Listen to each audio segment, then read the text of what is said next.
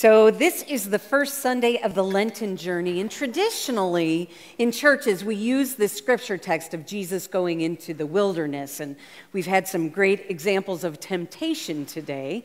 And it's actually found in three different places. It's what they call a synoptic gospel. So, that means that Luke picked up a little bit on it, Mark picks up on it, Matthew picks up on it. Three different tellings of the same story. Well, uh, this has also been captured in film as well. And uh, today we have uh, one scary video to share with you uh, that might give us a little feel of this temptation. So let's take a look at this video instead of me reading the scripture text.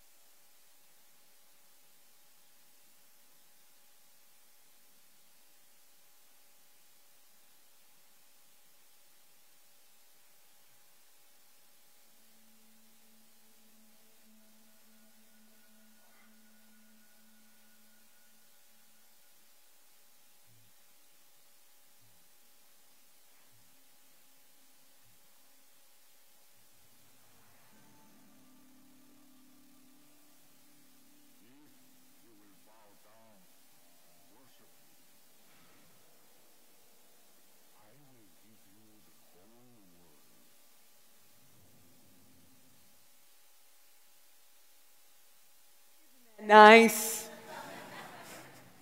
Well, it's one example, right? It's one example of what can happen to us if we step out of our ordinary lives and into a place where we're feeling a little bit uncomfortable. Jesus encounters kind of this dark energy, this Satan energy. And that's, in a way, how we're encouraged to start Lent ourselves. Step into a wilderness, meet up with some pretty freaky guys, and see how you handle it. What if we did that a little differently here at the garden, as we so often do. Now, Lent indeed is about penitence, which means that you look at your actions and you determine which ones were not so good and you ask for forgiveness. It's about sacrifice, giving something up. It's about contemplation.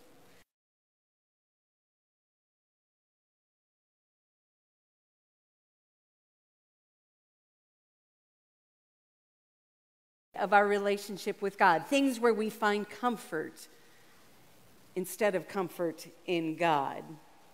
In a world that's moving faster than ever, where technology and answers, you can find them right away, where you can be fed right away in fast food, where you can move right along in life, these are a little bit counterculture. So, no wonder 20, only 25% of the Christian population participate in Lent.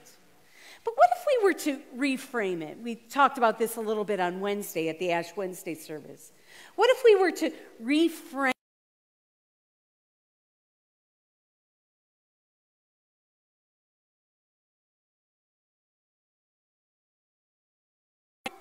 fashioned an earth creature out of the dust of the earth and blew into its nostrils the breath of life.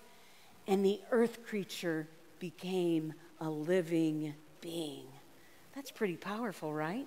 That's really powerful. That's a different uh, creation story. There are a couple of them, and this is the one I really like, where God just takes the dust of the earth, blows it into this creature, and this creature takes on life. And guess what?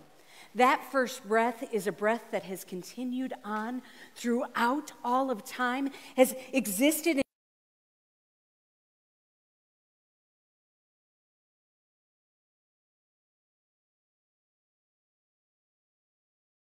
We're gone.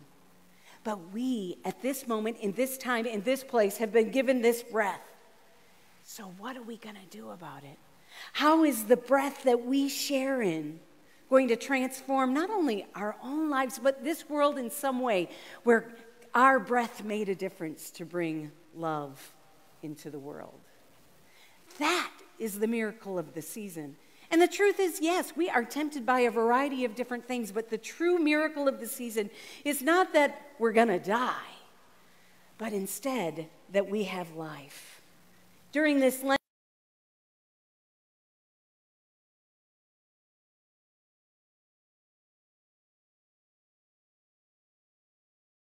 our relationship with God. And if you are interested in knowing more about that, come to the study today. But the wilderness experience is a reminder to us that there are so many things that can get in the way. But all we really need is deep within us. The psalmist puts it this way the psalmist says, Indeed, you delight in the truth deep within me. God delights in the truth that's been put deep within you. And you would have me know the wisdom deep within. The true answers and guidance that we need for life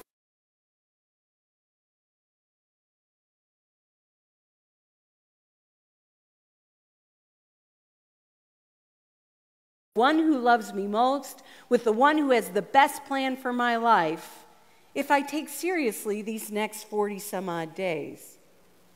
See, oftentimes what has happened is we live our life in such a way that God's direction for our life is just far too unfamiliar. And we don't know how to deal with it. And it doesn't even feel natural. But indeed, the only way to live is listening for the voice within, the voice of God. Uh, I talked about it last week, The Second Mountain by David Brooks. He puts it this way He says, A lot is gained by simply looking.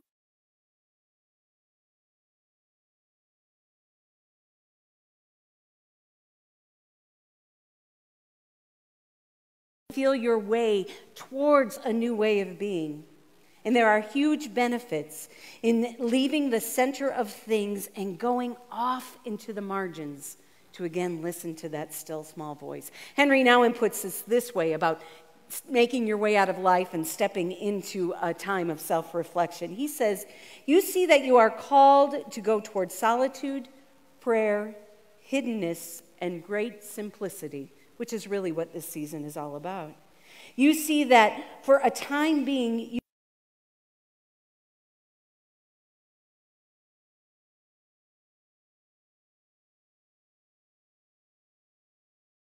newspapers, and exciting books no longer scares you. That's what you find in this place, where you can be present with yourself. It is clear that something in you is dying and something in you is dying to be born. But in order to do that, we must remain attentive, calm, and obedient to God's best intention for us. We live in a world today where we're bombarded by all kinds of options and inputs. And most of us are not finding satisfaction in life. How many of us have ever gone to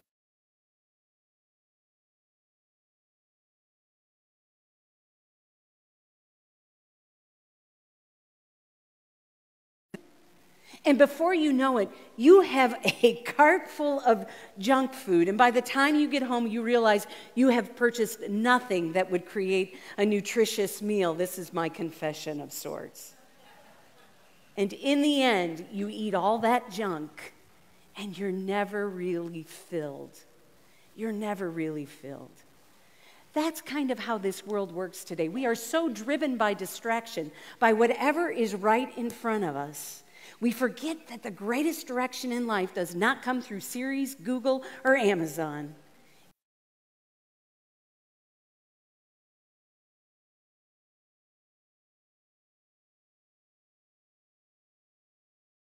Right here, and the loudest voice. The loudest voice. And most often, that loudest voice is not the voice of God. That loudest voice, most often studies show, is the family that surrounds you and depends upon you, the boss who relies upon you. That voice is often how we are shaped by the fashion or the trends of this world. All of these things coming from the outside into us. And what Lent reminds us to do is that these are not the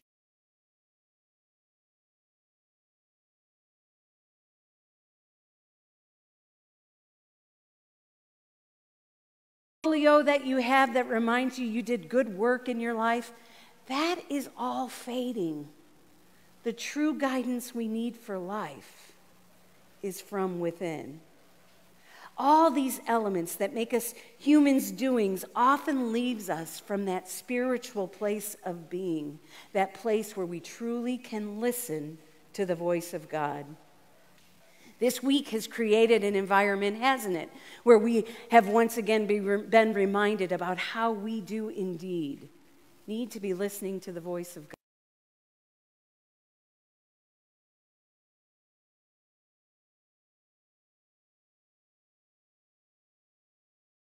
Experience allows us the opportunity to step out of what we thought was so good and step an, into a time and place where we can listen for God's still small voice where we have that place where we can stop trying to figure it all out, take the cotton out of our ears, put the cotton into our mouths, and just simply listen.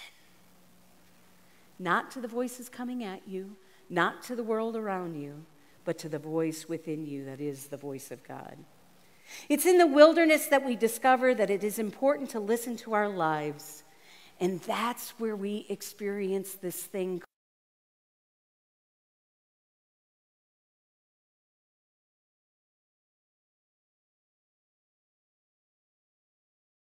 pause to listen, we will see how often we take off on the journey thinking we have the best ideas. And the truth about life is it's not out there, it's in the patience of sitting with uncertainty that we hear the voice of God.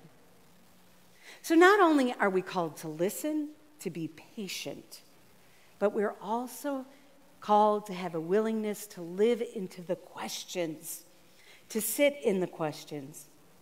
Have you ever noticed that oftentimes the people that provide the best guidance for our lives are not the ones who are providing?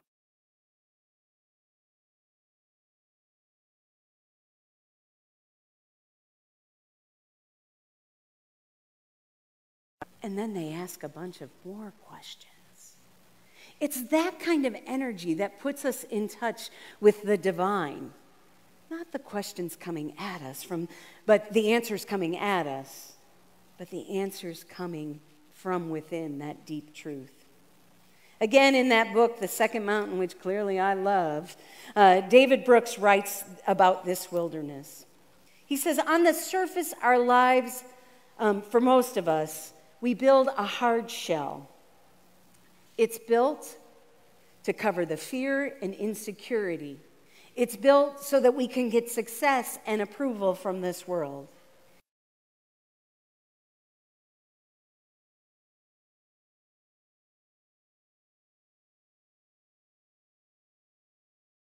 That you really are able to figure out what you yearn for, what you care about, and what you can connect with.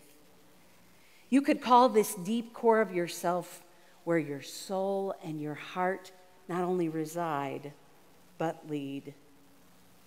In this wilderness experience, we find what they many call living deeply, and, and we do it periodically. Periodically, you do it. I think living deeply involves that emotion that you never saw coming and that you never really, you don't know why you're crying. Perhaps for you, it was when you were holding the child that you just gave birth to or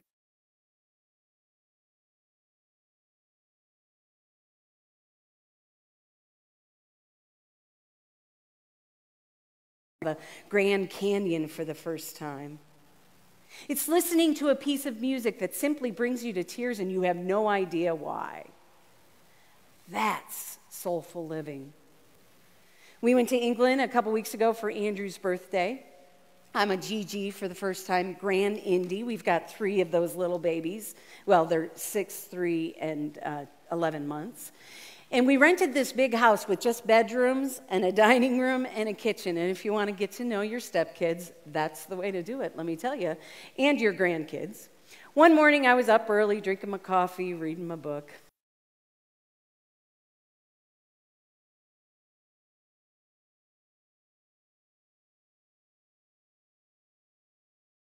Sit next to Gigi to cross her legs like Gigi, and to sit down and read that book like she was reading the New York Times.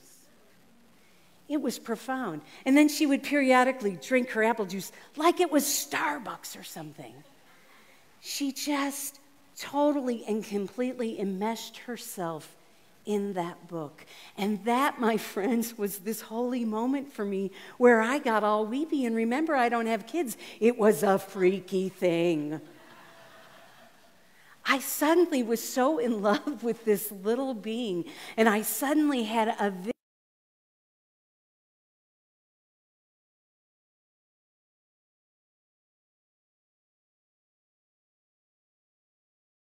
And it only happened when I stepped out of the ordinary and into the extraordinary. When I stepped into a place with three stepkids and their kids. And I had a willingness to take that chance to try to get to know one another a little bit better. It was profound. It was profound because it was uncertain. It was profound because it was love based for all of us. That's what it means to live deeply. And you can find that. Something tells me that if you watch Dave Bradley on Facebook, Dave Bradley is like insane for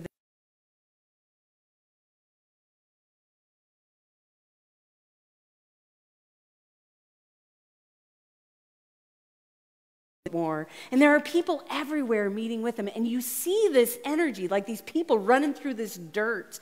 And they're so excited about running through the dirt, you know it has to be a holy moment because people just don't choose to do this. That's soul for living. That's stepping out of the ordinary. Dave is stepped out of the ordinary and into something new. And this most often happens at a time in our lives when we don't think we should be doing this. It most often happens when you think you have the best plan for your life.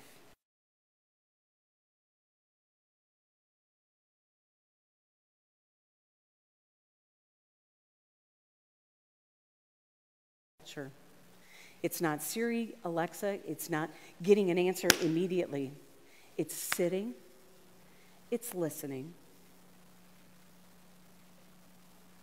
it's experiencing this thing called patience in uncertainty.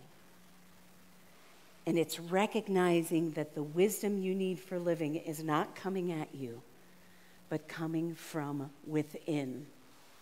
That, my friends, is soulful living. That, my friends, is the place where you learn how to listen to your heart and let your heart lead you on this journey in profound and miraculous ways. Simply listening to our hearts. Today,